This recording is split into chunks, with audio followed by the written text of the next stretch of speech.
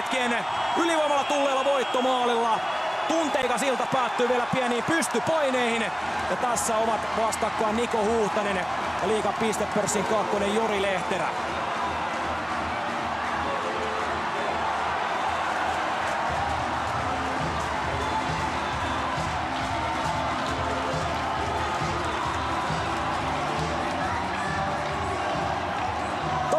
Voittaa 4-3. Valtteri Merelä voittomaalin tekijänä ajassa 58-56. Ojamäelle ja Kemiläiselle on merkitty syöttöpisteet. Katsotaan korjallaanko niitä. No sillä ei varmasti ole minkäänlaista merkitystä. Sillä on merkitystä, että Tappara saa tästä itselleen kolme pistettä ja pankistaa entisestään sarja johtoaan. Kun taas sitten kääntää Jukureille tämä on todella kitkerä tappio.